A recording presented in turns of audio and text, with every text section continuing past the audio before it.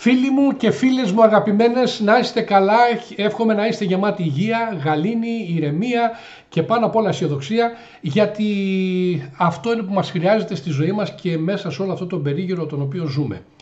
Ε, πριν ξεκινήσουμε το σημερινό βίντεο, αφού σας καλωσορίσω βέβαια η άλλη μια φορά και σας ευχαριστήσω για την αποδοχή σας εδώ στο Astropolis TV και στο astropolis.gr, θα ήθελα να επισημάνω δύο πραγματάκια. Πρώτον, ότι η αστρολογία είναι τάσεις. Μας δείχνει τις τάσεις που υπάρχουν. Δεν είναι μόνο μαντική, δεν είναι μόνο πρόβλεψη. Είναι και αυτό, αλλά ε, πάνω απ' όλα μας δείχνει τις τάσεις.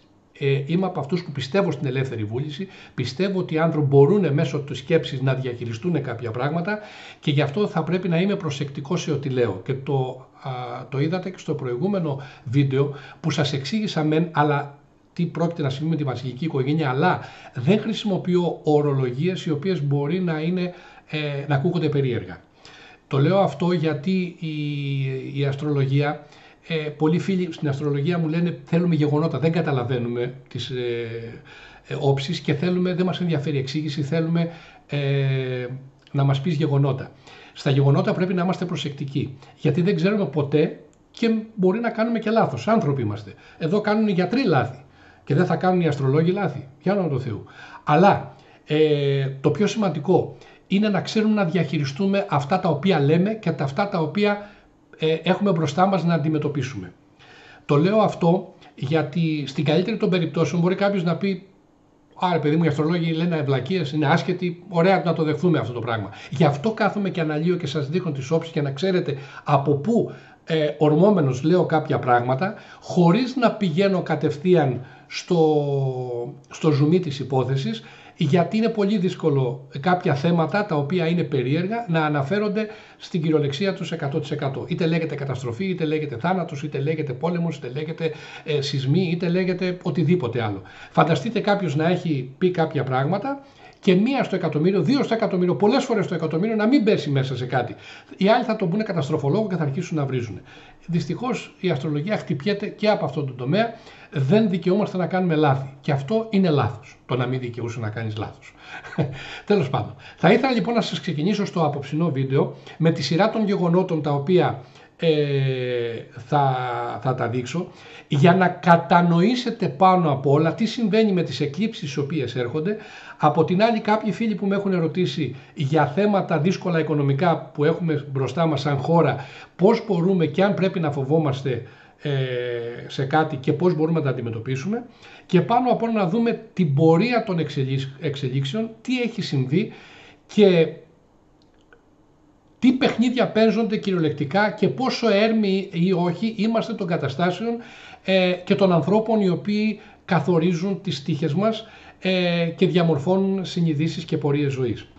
Θα ήθελα λοιπόν να ξεκινήσουμε ε, κατά πρώτον από, την, από το Ιράν το οποίο δέχτηκε ένα πλήγμα το περασμένο Μάρτιο από το Ισραήλ να ξεκινήσουμε σιγά σιγά και θα δούμε τις συναστρίες και όλα τα γεγονότα μαζί, αλλά να ξεκινήσουμε για να κατανοήσουμε τη φύση των χωρών μέσα από τους χάρτες τους, για να δούμε πραγματικά την εικόνα αυτών των, ε, των χωρών. Ας ξεκινήσουμε λοιπόν με το Ιράν, το οποίο ουσιαστικά έχει έναν ε, οροσκόπο λιοντάρι, ο ήλιος του είναι στην ακμή του ενάτου του και μας δείχνει ακριβώς αυτό το θρησκευτικό κράτος το οποίο υπάρχει, με μαύρη σελήνη μπροστά στον, ε, στον οροσκόπο που μας δείχνει ακριβώς αυτό το, το κλειστό σκοταδιστικό να το πείτε έτσι αν θέλετε ε, κομμάτι τους που είναι κλειστής σαν λαός και πάνω απ' όλα ένα μεγάλο τάφ τετράγωνο μεταξύ του χρόνου Αφροδίτης και της Ελλήνης που δείχνει όλη αυτή την καταπίεση που μπορεί να νιώθουν, που νιώθουν, όχι μπορεί, που νιώθουν μέσα σε ένα εγκλωβισμένο χώρο και το μεσοδιάστημα Άρη Κρόνου ε, με το βόρειο δεσμό ε, σε σχέση μας δείχνει το πώς είναι ε, σαν να είναι κλεισμένοι, σαν να είναι φυλακισμένοι σε ένα χώρο απομονωμένοι θα έλεγα και αυτό το δείχνει πολύ ωραία και η, η κυβερνήτης του Ισελήνη του 12ου του που είναι στο, στο 10ο στο Μεσουράνημα και που ουσιαστικά εμποδίζεται μέσω του τετραγώνου με τον χρόνο να βγει, δείχνει αυτή την απομόνωση του τετράγωνου Σελήνης χρόνου, στο να βγει σαν ε, κράτος και να μπορέσει να, να εκφραστεί όπως θα ήθελε να εκφραστεί. Ε, πάμε να δούμε και κρατήστε τις, ε, τις μοίρες γιατί είναι περίεργο από εδώ και πέρα στα οροσκόπια που θα βλέπετε ε, οι μοίρες και οι ακμές των οίκων είναι περίεργες για αυτά τα οποία θα επισημάνουν οι εκλήψεις οι οποίες έρχονται. Άρης στις 25 των νυχθείων. Και το λέω αυτό γιατί στις, ε, ε, εδώ 7 Σεπτεμβρίου του ε, συγγνώμη, 18 Σεπτεμβρίου του 2024 έχουμε μία ε, έκλειψη στις 25 των νυχθείων, πάνω στον Άρη δηλαδή του, του Ιράν. Μετά ακολουθεί η έκλειψη του Οκτωβρίου που είναι στις 10 του Ζυγού. Μετά ακολουθεί στο Μάρτιο στις 23 της Παρθένου άλλη έκλειψη και μετά στις 29 Μαρτίου 9 του Κρυού. 9 του κρύου, 23 παρθένους στα μεταβλητά και 25 ηχθείων η οποία θα γίνει τώρα το Σεπτέμβριο, δηλαδή ε, αντίθεση, 25 τώρα των ηχθείων, 23 παρθένου το Μάρτιο του 25 και ενδιάμεσα τον Οκτώβριο μια έκλειψη στις 10 Οκτωβρίου, στις, στις 10 του Ζυγού, είναι ε, καταλήτες για τα γεγονότα τα οποία έρχονται. Θα ήθελα λοιπόν να κρατήσετε αυτές τις μοίρες, αυτές τις ημερομηνίες και να τις αναλύσουμε στην πορεία. Έχουμε λοιπόν εδώ τον Άρη και προσέξτε γιατί είναι σημαντικός στο τι συνέβη ε, σε σχέση με το Ισραήλ. 25 των ηχθείων λοιπόν, ο Άρης εδώ το μεσουράνημα ουρανού Ποσειδώνα σε τετράγωνο με την Αφροδίτη μας δείχνει αν θέλετε και τις μονόπλευρες ερωτικές απολαύσεις και το φαλοκρατικό εντός αγωγικών κράτος του Ιράν που οι γυναίκες όσο να είναι είναι λίγο υποπεριορισμών και οι άντρες έχουν μία αν θέλετε καλύτερη αντιμετώπιση και εδώ είναι οι διαφωνίες που αρχίζουν αλλά τέλος πάντων δεν είναι στη δικιά μας δικαιοδοσία. Περνάμε στο Ισραήλ. Το Ισραήλ είναι ένας καταλήτης στον παγκόσμιο χάρτη και αυτό θα πρέπει να το δούμε και λίγο πιο προσεκτικά. Έχει έναν οροσκόπο 26 του ζυγού. Σε επόμενο βίντεο που θα κάνουμε για τις σχέσεις θα δούμε και θα, θα σας αναλύσω γιατί οι, οι οροσκόποι ζυγοί δεν τα πάνε πολύ καλά στις σχέσεις τους. Γενικότερα δεν τα πάνε πολύ καλά με τις σχέσεις τους. Υπάρχει μια αν θέλετε δυσαρμονία θα την εξηγήσουμε αργότερα. Πάμε να δούμε αυτό το λαό ο οποίος είναι ε, προς τα έξω, δείχνει την εικόνα αυτού ακριβώς του λαού του ε, Ταύρος, με 23 του Ταύρου, ε, σε μία αν θέλετε νόβιλε όψη με το μεσοδιάστημα κρόνου Πλούτονα που δείχνει το, την κυριαρχικότητα την οποία σιγά σιγά αποκτά το Ισραήλ από την ίδρυσή του. Κρατήστε την ακμή του 12ου στις 26 της Παρθένου που θα γίνει απέναντι 26 των ηχθείων η έκλειψη που σας λέω ε, τον ε, Σεπτέμβριο. Και δείτε επίσης στο συλλογικό ασυνείδητο που λέω του 12ου οίκου τι υπάρχει ο Ερμής είναι στον 8ο δηλαδή η σχέση με τα χρήματα που η οποία τονίζεται και από το τρίγωνο του Δία με τον Άρη του Δία σαν σκέψης στο τρίτο και του Άρη που είναι στον, ε, στο δεύτερο ε, κυβερνήτη του Δευτέρου παραδοσιακά, αλλά ακόμα και τον Πλούτονα να πάρουμε σαν κυβερνήτη, δείχνει ε, ουσιαστικά την, ε, τη δυναμική που έχουν ε, σε σχέση με τα χρήματα σαν λαός. Ε, αυτό θα το δούμε μπροστά μας γιατί έχει μία, αν θέλετε, ε, αιτία γιατί συμβαίνουν κάποια πράγματα. Εδώ λοιπόν αυτό είναι το Ισραήλ. Πάμε να δούμε τον, συγγνώμη, το γενέθλιο χάρτη του Ισραήλ τώρα και το Ιράν σε μία συναστρία. Προσέξτε να δείτε τι γίνεται. Έχουμε τον κρόνο πλούτονα του Ισραήλ πάνω στον οροσκόπο του, του Ισραήλ. Του, συγγνώμη, του Ιράν. Αυτό μας δείχνει ακριβώς την πίεση την οποία νιώθει το Ιράν απέναντι από το Ισραήλ. Εδώ ενώ υπάρχει ένα σεβασμός και μια αγάπη αγάπη. Υπήρχε μια φιλία μεταξύ τους, Σελήνη με τον, με τον Ερμή υπήρχε σε, υπάρχει σαν ε, σύνοδος, αλλά ο Ερμής τετραγωνίζεται από τον, ε, τον κρόνο του, του Ιράν και επίσης η, η Αφροδίτη που τετραγωνίζει εδώ και, τον, ε, και τη Δήμητρα αλλά και τον, τον Ερμή του, του, του Ισραήλ μας δείχνει μία εικόνα αν θέλετε όπου δεν μπορούν αυτές οι δύο χώρες να τα βρούνε. Αυτό είναι ένα πολύ μικρό κομμάτι. Εδώ έχουμε τον ήλιο Ποσειδώνα που μας δείχνει πάντοτε εντάσεις και σχέδια που προσπαθούν να φτιάξουν, να τα βρούνε ή ε, ε, τις όποιες καταστάσεις που διέπονται γύρω από το περιβάλλον τους, αλλά που είναι σχέδια χωρίς προγραμματισμό, που δεν πρόκειται να γίνουν, που δεν μπορούν να τα βρουν, που είναι σε μια μόνιμη ανησυχία και σε μια μόνιμη ε, ε, κατάσταση έντασης. Και ε, πάνω απ' όλα κοιτάξτε ότι ο ουρανός είναι, ο ουρανός του, του Ισραήλ είναι επάνω, τετραγωνίζει τον Άρη του, του Ιράν, ο οποίος Άρης του Ιράν είναι πάνω στην ακμή του έκτου ε, των ενόπλων δυνάμεων του Ισραήλ.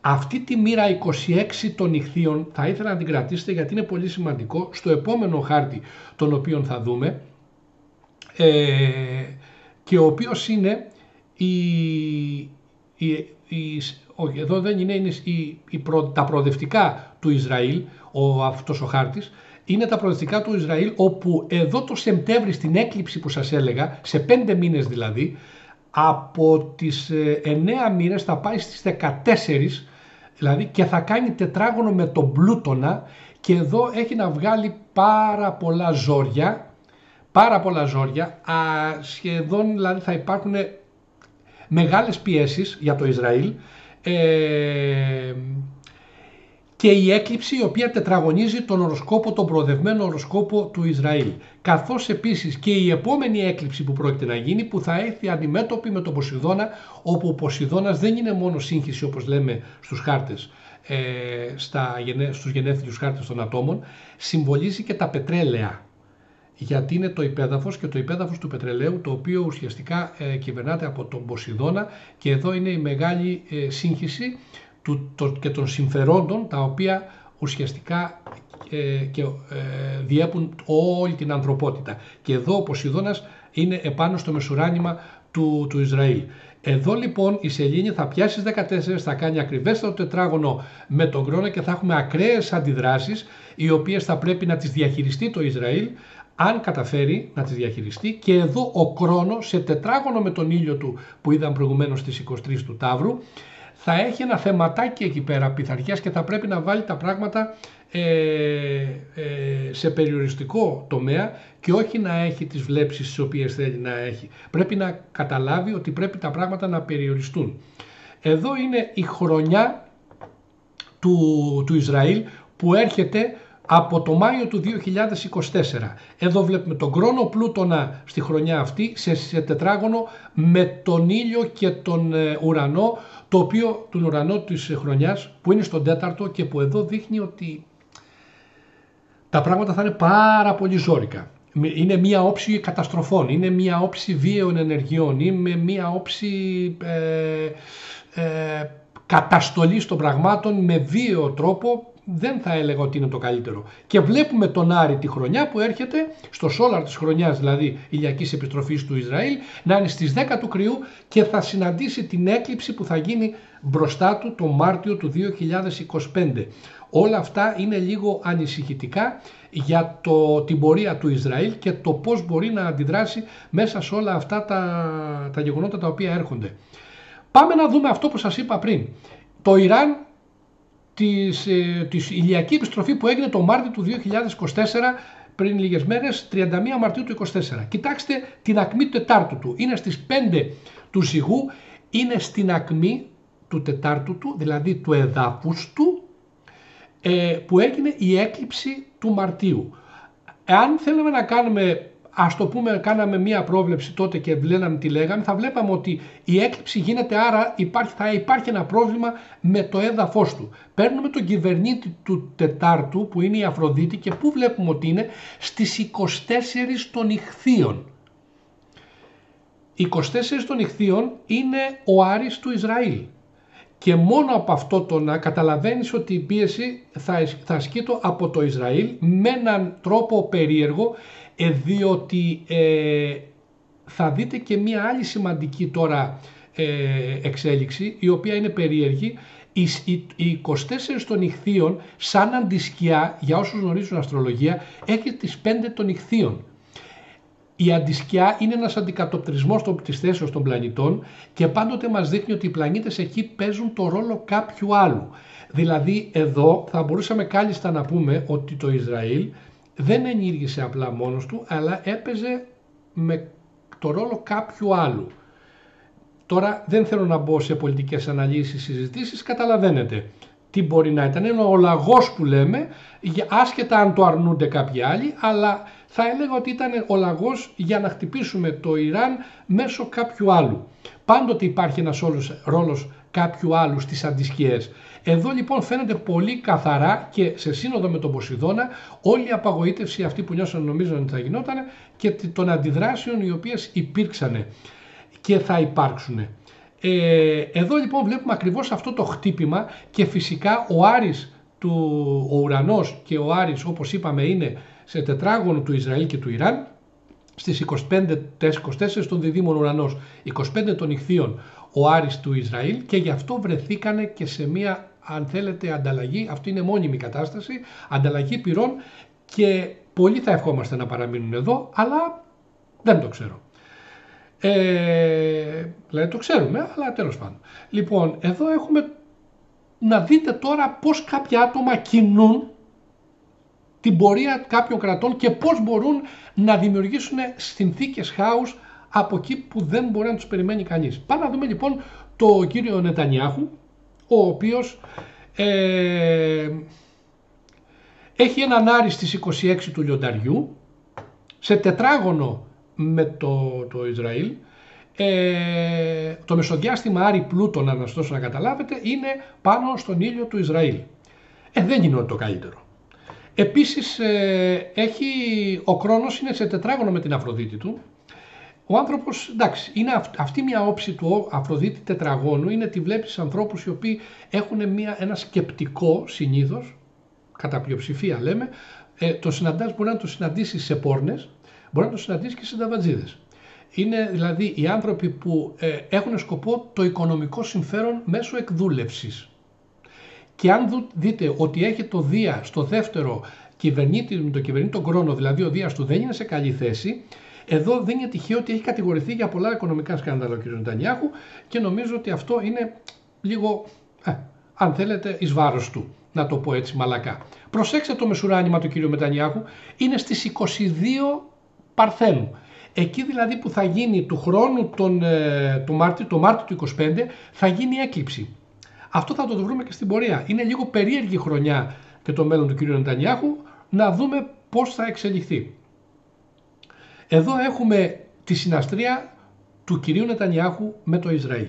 Είπαμε ότι υπάρχει ο Άρης ε, με, τον, ε, με τον ουρανό, έχει το Ισραήλ ήλιο τετράγωνο με Άρη που σημαίνει εντάσεις, που σημαίνει ότι υπάρχει ένας ε, τσαμπουκάς περίεργος και έχει μια δυναμική α, να το πω έτσι κομικό χαλαρά, και έρχεται ο Άρης του κυρίου Νετανιάχου πάνω στον Άρη του, του Ισραήλ και εκεί που έχει ένα πρόβλημα το Ισραήλ του το κάνει ακόμα περισσότερο. Δηλαδή του δημιουργεί περισσότερες καταστάσεις έντασης από ό,τι ουσιαστικά θα ήθελε.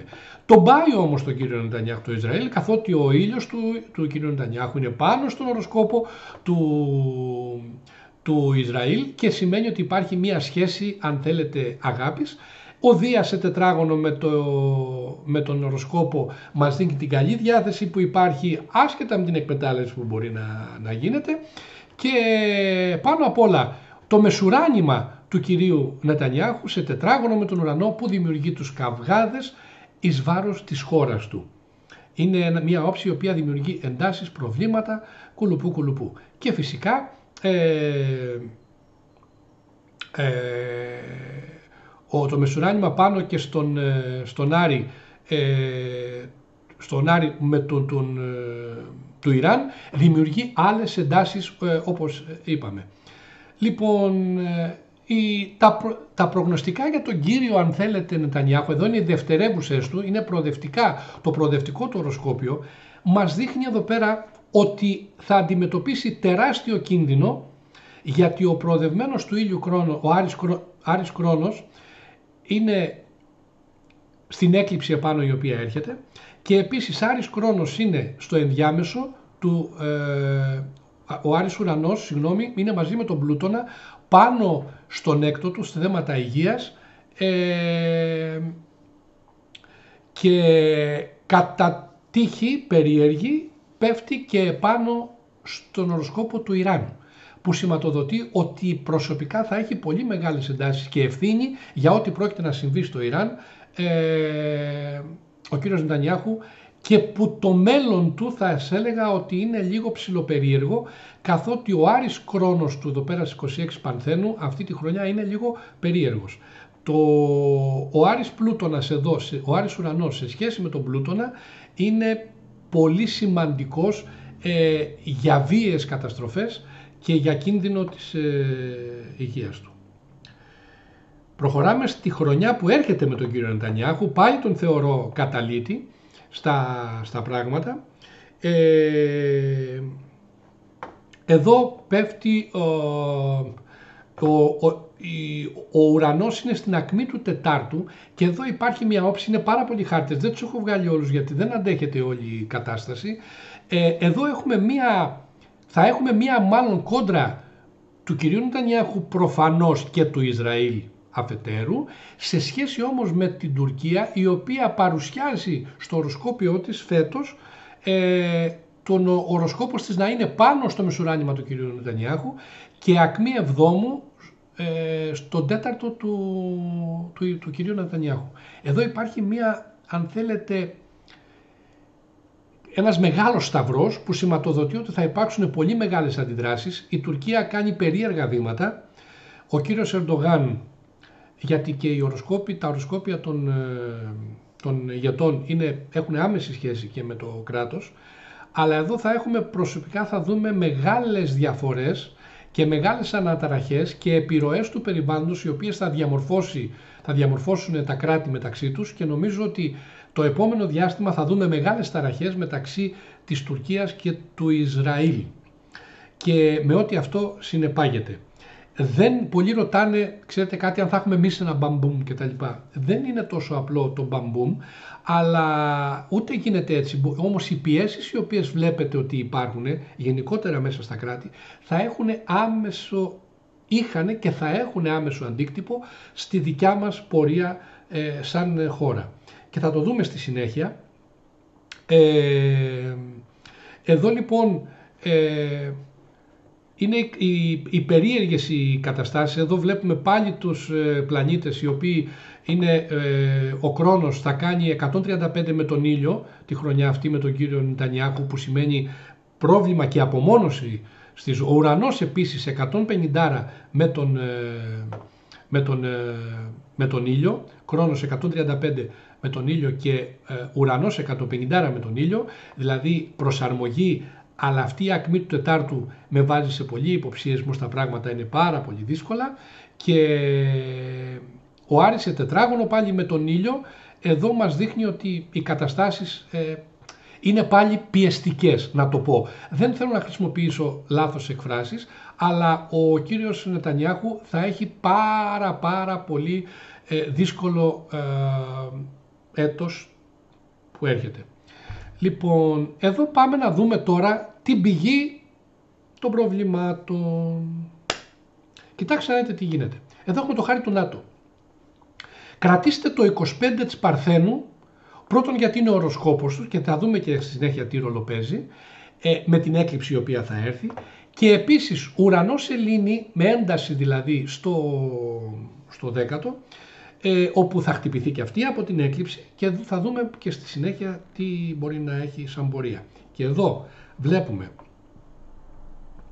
την, ε, τη σχέση ε, του ουρανού, ο οποίος όταν θα περάσει πάνω από το γενέθλιο χρόνο πλούτονα του, του ΝΑΤΟ, θα δημιουργήσει τεράστιες εντάσεις και θα του ξυπνήσει πράγματα και καταστάσεις οι οποίες ουσιαστικά και θα σηματοδοτήσουν δύσκολα γεγονότα, ε, καταστροφικά γεγονότα θα έλεγα, δεν είναι μια καλή όψη, επαναλαμβάνω κρότος πλούτονας ουρανός, ε, βγάζει πολλές εντάσεις και όταν πιάνει και προσωπικά σημεία πλανητών και χωρών που δεν μπορούμε να τις ξέρουμε όλες, όσες γνωρίζουμε έχουν δυστυχώς άξονες όπως το Ισραήλ ε, έχει εκεί, θα μπει σε περιπέτειες γιατί μην ξεχνάτε ότι υπάρχει αυτή η συμμαχία η οποία φαίνεται εδώ πέρα στον 7ο του οίκο και βλέπουμε πάλι τον Άρη στις 10 του Κρυού απέναντι από την έκλειψη που θα γίνει τον Οκτώβριο του 2024 που σηματοδοτεί εντάσεις, σηματοδοτεί έναρξη βίας, σηματοδοτεί ε, καταστάσεις όχι θα έλεγα καλές. Ε, αυτά για να είναι ξεχωριστά σε κάθε κράτος, αλλά αν τα συνθέσεις όλα μαζί, βλέπουμε ότι όλη η ιστορία, ΝΑΤΟ, Ισραήλ, Ιράν, ε, στη συνέχεια και το Ιράκ που θα μπει στο παιχνίδι, ε, Ρωσία, Ουκρανία, όλο αυτό το πλαίσιο το οποίο υπάρχει, ε, ζει μια ένταση μεγάλη.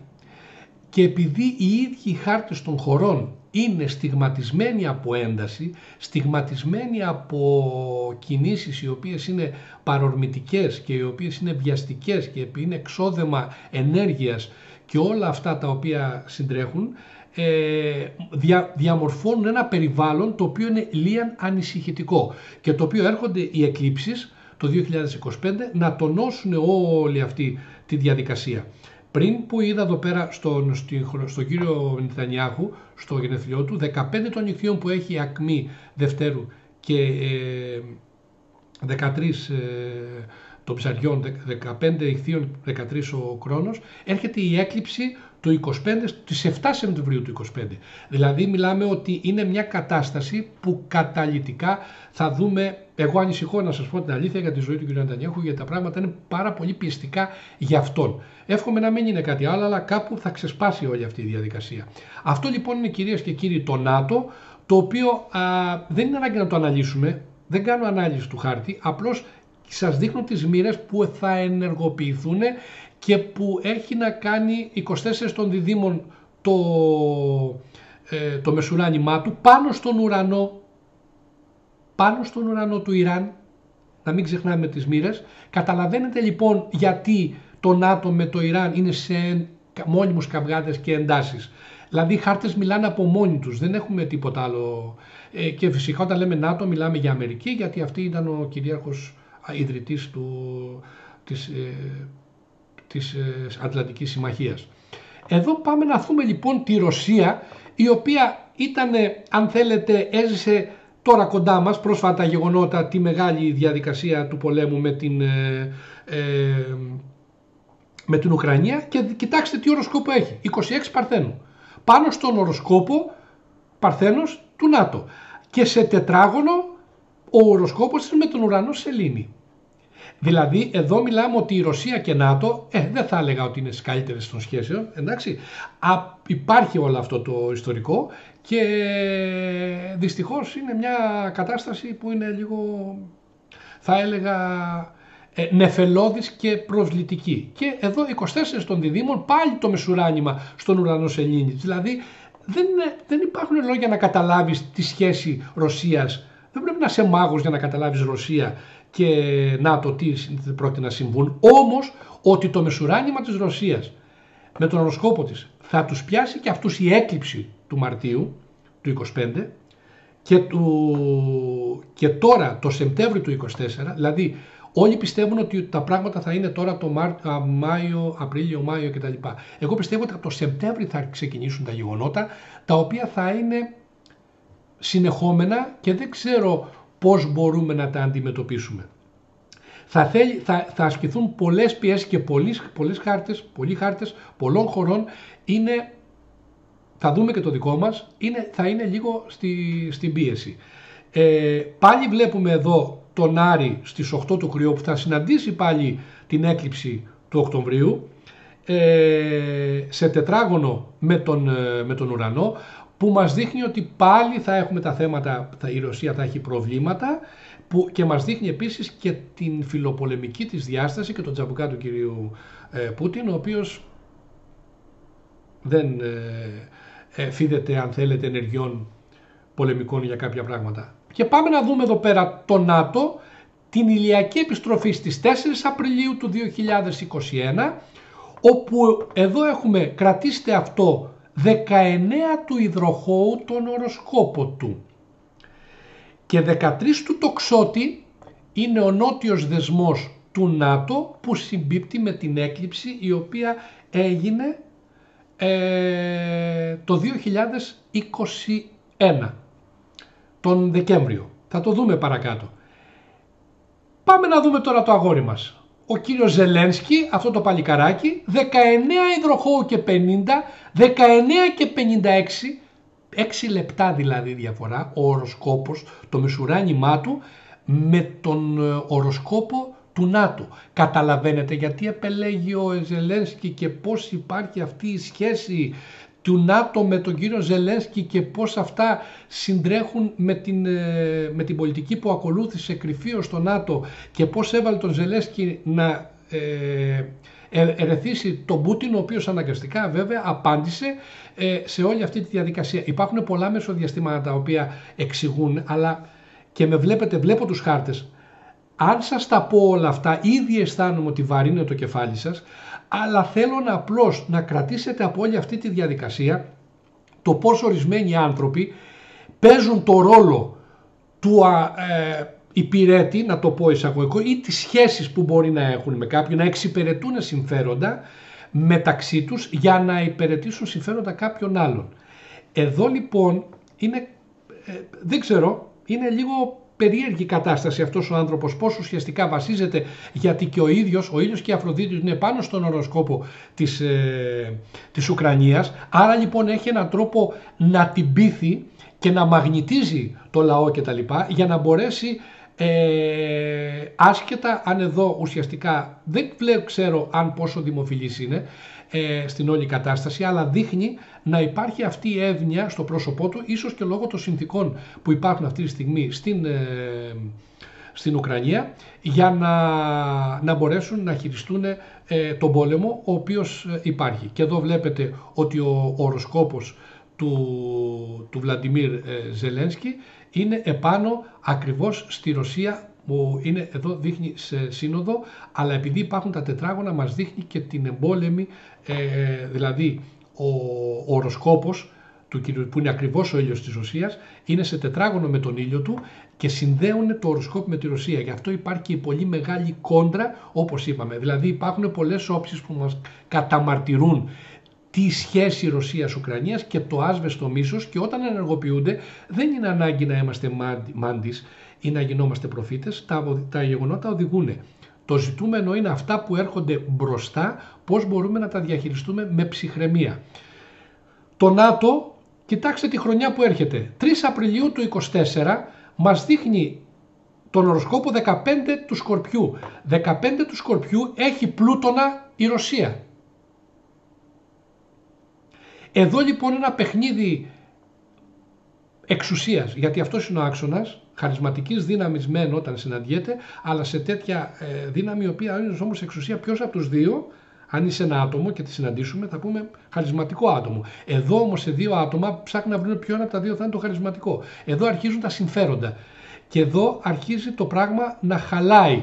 Εδώ βλέπετε λοιπόν ότι ο οροσκόπος είναι πάνω στον πλούτονα και εδώ θα παιχτούν παιχνίδια εξουσίας καθαρά ε, για πετρέλαια. Μην το συζητάμε για το οικονομικό τομέα δηλαδή, γιατί βλέπετε και ότι ο Δίας του Δευτέρου είναι σε αντίθεση με τον Πλούτονα, άρα μιλάμε για απώλειες που τυχόν θα παρουσιαστούν ε, για το ΝΑΤΟ ή α, απώλειες όχι μόνο οικονομικές και συμφεροντολογικές γενικότερα. Εδώ βλέπουμε την Ουκρανία που σας είπα ότι ο ήλιος και η Αφροδίτη του κ. Ζενέσκη είναι πάνω στον οροσκόπο του και χαρίζει όλο αυτό το, το παραμύθι και η Αφροδίτη που είναι δέσιμο με τον κρόνο του, του ΝΑΤΟ που μας δείχνει ακριβώς αυτή τη σχέση, την περίεργη ε, που υπάρχει και την, τον, τα συμφέροντα που ευελπιστούν να έχουν και μην ξεχνάτε ότι ο χρόνος που είναι και στο ΝΑΤΟ και στην, ε, και στην Ουκρανία είναι δομές οι οποίες ε, στο 12ο ε, είναι κρυφά παιχνίδια τα οποία παίζονται και που δεν μπορούμε να τα γνωρίζουμε. Άρα όταν δεν γνωρίζουμε κάτι, πώς μπορούμε και δεν έχουμε διάλογο με αυτούς, δεν μπορούμε να βγάλουμε τα συμπεράσματα. Άλλος ένας λόγος που ουσιαστικά καταμαρτυρούμε τις όψεις, προσπαθούμε να αποκρυπτογραφήσουμε όλα τα γεγονότα, αλλά δεν μπορεί να είμαστε 100% βέβαιοι. Το ότι θα σκάσουν όμως τα γεγονότα σύμφωνα με, την, με τις όψεις οι οποίες υπάρχουν, αυτό είναι σίγουρο. Δεν, δεν, το, δεν αμφισβήτηται. και προχωράμε στην ηλιακή επιστροφή, στην έκλειψη μάλλον, στις 4 Δεκεμβρίου του 2021, όπου βλέπουμε εδώ ε, τι έγινε, το γνάρι επάνω σε έναν πολύ δύσκολο απλανή.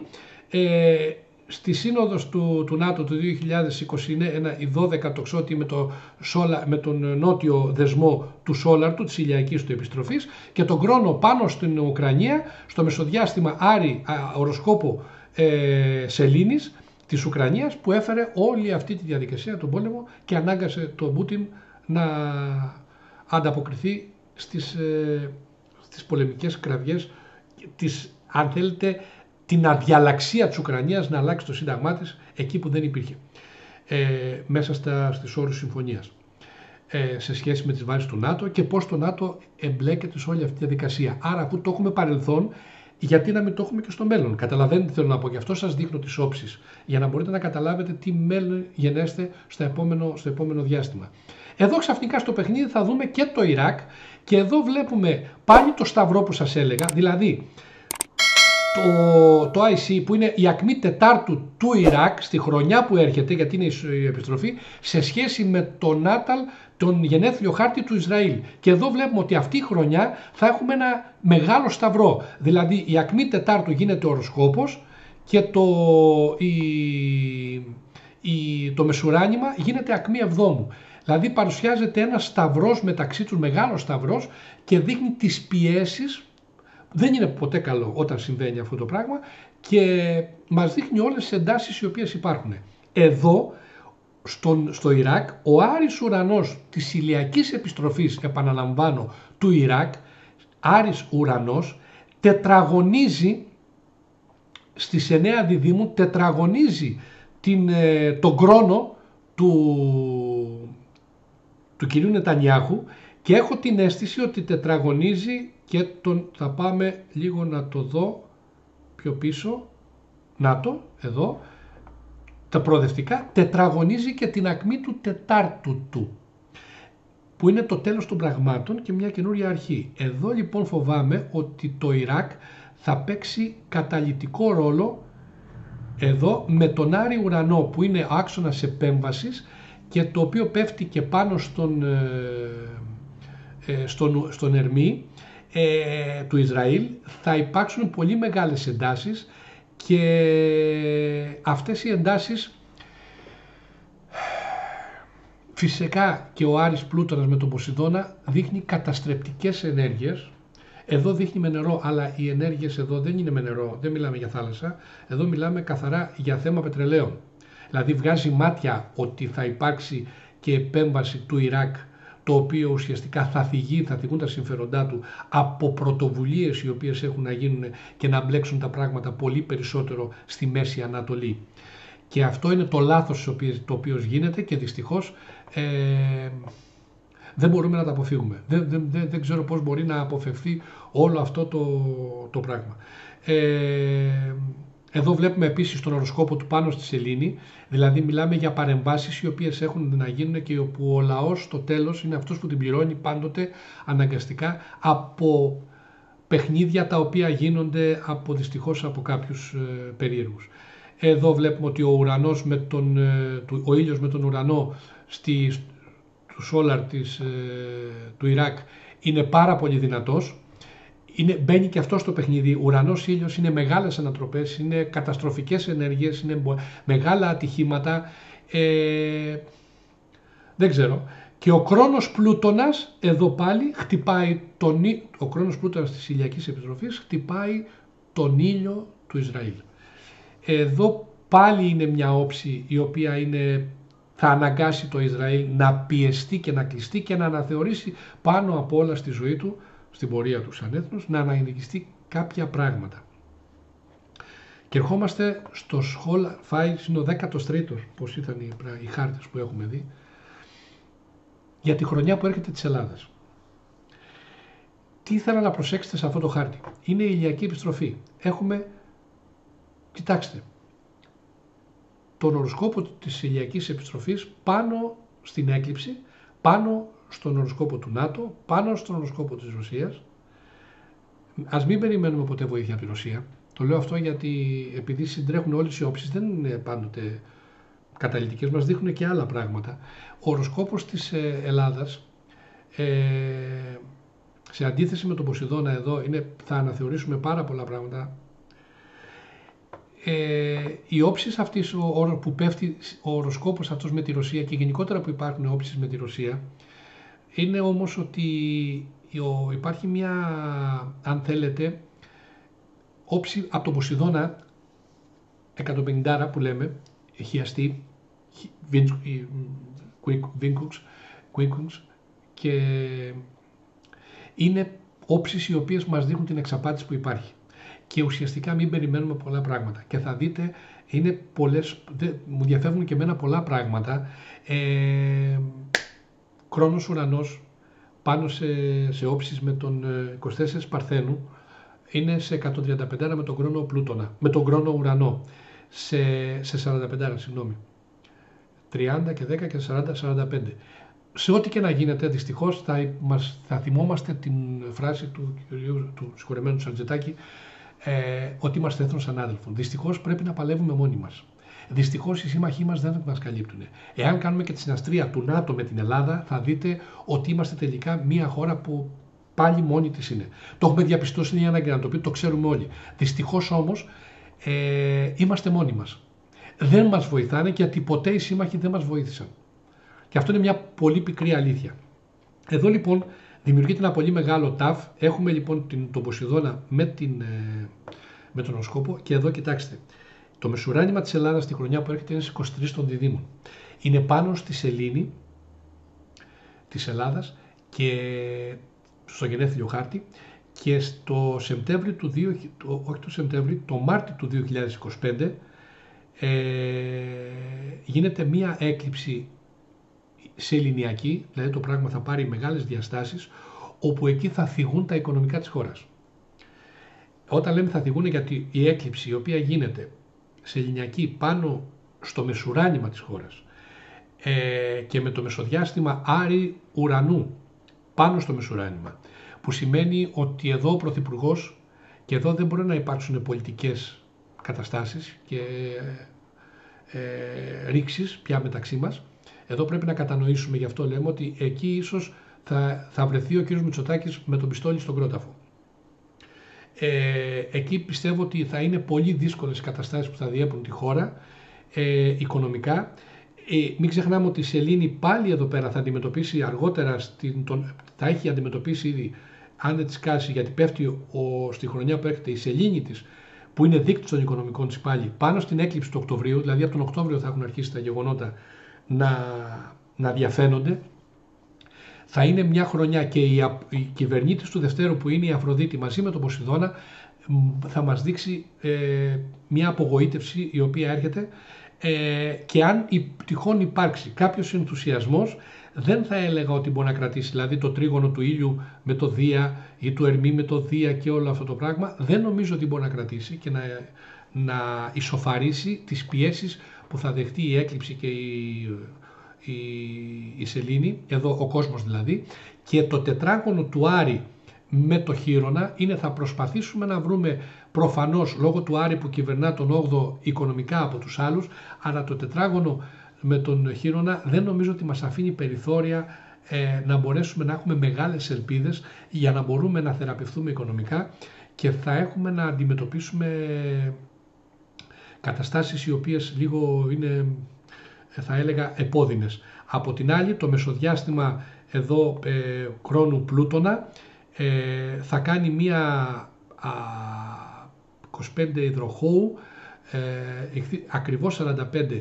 με τη σελήνη και εδώ δεν θα ήθελα να σε εξηγήσω τη φράση γιατί τα λόγια που χρησιμοποιεί και ο Έμπερτιν στο βιβλίο του και επί τη ευκαιρία για όσους ασχολούνται, έχω πει και για άλλη φορά, γιατί το μεγάλο μυστικό στην αστρολογία είναι τα μεσοδιαστήματα ε, και δυστυχώς κάποιοι δεν το καταλαβαίνουν. Θα ήθελα να σας παρουσιάσω αυτό το βιβλίο. Είναι ακριβώς όπως το βλέπετε, οι συνδυασμοί κοσμικών επιρροών, επιρροών ε, που μιλάει για τα μεσοδιαστήματα, το έχω πει και σε άλλη φορά ε, εκδόσεις Ιωάννης Παναγιωτόπουλος ε, και το λέω και το τονίζω γιατί ε, δεν υπάρχουν σε αυτό το βιβλίο, ε, δεν υπάρχει στα βιβλιοπολία. Μπορείτε να το βρείτε στην, ε, σε, στον κύριο Παναγιωτόπουλο τον ίδιο ή στην, στο βιβλιοπωλείο της κυρίας Γαλανού στη Βουλής ή στην ε, Αστροπέδια ε, της κυρίας Κόντι όπου υπάρχουν αυτά τα βιβλία για όσους θέλουν να, να διαβάσουν μεσοδιαστήματα και για να πάρουν, να πάρουν περισσότερες εξηγήσεις. Δεν θα ήθελα να σας αναφέρω την ερμηνεία αυτής της όψης και εύχομαι να μην ισχύσει και για την Ελλάδα. Ε, είναι μια πολύ μεγάλη απογοήτευση την οποία θα νιώσουμε και που δεν θα ήθελα να, να τις περαιτέρω να την αναλύσω. Και βλέπουμε και τη μαύρη σελήνη πάνω στην ακμή του Δευτέρου, η οποία είναι σαν να σας λέω ότι σας έκανα μαύρη την καρδιά. Ναι, δεν είναι έτσι. Ε, μην ξεχνάμε ότι είμαστε ένας λαός που μας ενώνουν τα δύσκολα. Είναι μια, το 25 παγκόσμια, το, είχαμε πει, το έχουν πει και άλλοι αστρολόγοι, το έχουμε πει και εμείς, το, το λέμε, το φωνάζει πολλοί κόσμος, είναι μια δύσκολη χρονιά δεν είναι μια εύκολη χρονιά. Και προοδευτικά η έκλειψη νέα του κρυού εδώ πέρα που γίνεται θα πέφτει πάνω στον πλούτονα τον προοδευτικό της Ελλάδας, ο οποίος είναι σε τετράγωνο με τον, ε, με το Δία και το τετράγωνο πλούτονα Δία είναι ο χαρακτηρισμός της ψωροκόστενας. Αυτή η καταστροφή που έχουμε από, την, ε, από το γενέθλιο χάρτη μας, μας κουβαλάει, προοδευτικά είχαν έρθει από το 2008 συνευρέθησαν οι πλανήτες σε τετράγωνο και από το 25-26 και μετά θα αρχίσουν σιγά σιγά να αποχωρίζουν. Όμως οι επιρροές τους είναι, ε, είναι ακόμα υπαρκτές. Μη μου πείτε ότι από το 8-9 μέχρι σήμερα δεν έχουμε βιώσει δύσκολες καταστάσεις, δεν έχουμε βιώσει ακρίβεια, δεν έχουμε βιώσει πείνα, δεν έχουμε βιώσει χρεοκοπίες, δεν έχουμε χρεώσει καταρρεύσεις, έτσι. Λοιπόν, δεν είναι ανάγκη να γίνει πόλεμος δηλαδή για να έχουμε τέτοια γεγονότα. Το λέω αυτό γιατί πολλοί θέλουν να τα συνδυάζουν με αυτόν τον τρόπο. Δεν θα έλεγα ότι θα είναι ένας ε, πόλεμος, αλλά οι απόρριες των παγκόσμιων γεγονότων θα μας αναγκάσουν εμάς σε, μια, σε ένα τέτοιο παιχνίδι. Και η Αμερική ενέχεται μέσα σε αυτό το παιχνίδι και η Κίνα ενέχεται σε αυτό το παιχνίδι.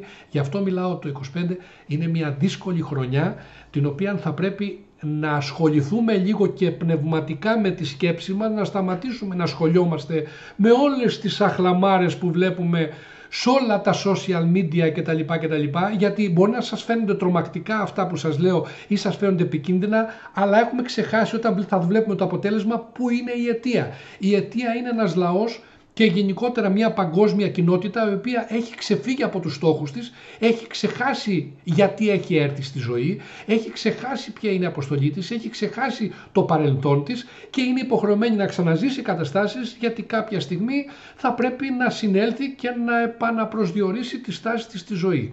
Είναι τόσο απλό. Λοιπόν, να σταματήσουμε να κυνηγάμε τα κουτσομπολιά και όλο αυτό το περίγυρο ο οποίος υπάρχει δίπλα μας, να αισθανθούμε λίγο τη δυσκολία των πραγμάτων, να επαναπροσδιορίσουμε υλοποιήσουμε τους στόχους μας, να αγαπήσουμε αλλήλους, εν ομονία ομολογήσουμε, που λέει και το Ευαγγέλιο, για να μπορέσουμε κάποια στιγμή να βρεθούμε σαν άνθρωποι, να κοιτάξουμε τη ζωή κατάματα και να αντλήσουμε δύναμη από τις δυσκολίες για να μπορέσουμε να σταθεροποιήσουμε ένα μέλλον στο οποίο μπορούμε να χτίσουμε με σιγουριά για τα παιδιά μας. Δεν είναι εύκολα τα πράγματα, Συμφωνώ απόλυτα.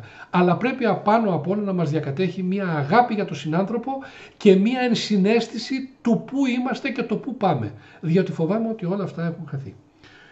Ε, αυτά είχα να για σήμερα. Δεν ξέρω αν σας μάρουσα την ψυχή. Δεν ξέρω αν ε, εκείνο που πιστεύω ότι είναι ότι μάλλον θα ήθελα να σας βάλω σε έναν τρόπο σκέψης γιατί οι πιέσεις είναι δύσκολες. Εύχομαι πάντα και θα το λέω να διαψεύδομαι σε ό,τι και να κάνω και να λέω ε, με την έννοια ότι δεν είναι τα χειρότερα τα οποία επισημαίνεις και πάντοτε υπάρχουν και καλές στιγμές, δεν είναι μονόπλευρες όλες οι καταστάσεις, αλλά το μεγάλο μυστικό γιατί ασχολούμαστε με τα δύσκολα, γιατί δεν έχουμε μάθει να τα αναλύουμε. Αυτό είναι, σας το είχα πει και σε άλλη φορά σε βίντεο. Και εδώ είναι το λάθος μας, ότι πρέπει να αναλύουμε και τα ευχάριστα και τα δυσάρεστα. Δυστυχώς όμως όταν δεν συνειδητοποιούμε τα δυσάρεστα, δεν μπορούμε να τα επιλύσουμε στο μέλλον και δεν μπορούμε να τα αντιμετωπίσουμε. Αυτά, μέχρι να μονεί το επόμενο βίντεο, ε, να είστε καλά, να καταλάβετε ότι οι παγκόσμιες απειλές υπήρχαν, υπάρχουν και θα υπάρχουν, ότι οι άνθρωποι τις χειρίζονται και εναπόκειται στους ανθρώπους το πώς μπορούμε να χρησιμοποιήσουν για καλό όταν θα κάνουμε συναστρία ε, θα πούμε για το πώς θα μπορούσαν να χειριστούν αυτές τις καταστάσεις κάποιοι άνθρωποι και γιατί επέλεξαν να κάνουν αυτό το οποίο έκαναν. Ε, γιατί πάντοτε υπάρχουν λύσεις. Αλλά το μότο μου είναι αυτό που λέω. Λύσεις υπάρχουν, ποτέ δεν θέλουμε να τις δούμε. Και αυτό είναι το λάθος. Σας χαιρετώ, να είστε καλά, ε, να χαμογελάτε, να είστε αισιόδοξοι, θα λυθούν τα πράγματα και θα, και θα αντιμετωπίσουμε τη ζωή όπως πρέπει να αντιμετωπίσουμε. Και όσοι να πληρώσουμε, για αυτά που πρέπει να πληρώσουμε, θα τα πληρώσουμε. Να είστε καλά και μην ξεχνάτε, χαμογελάτε και να αγαπάτε τους συνανθρώπους σας. Όσοι αυτόν που λέει ο Χριστός. Να είστε καλά.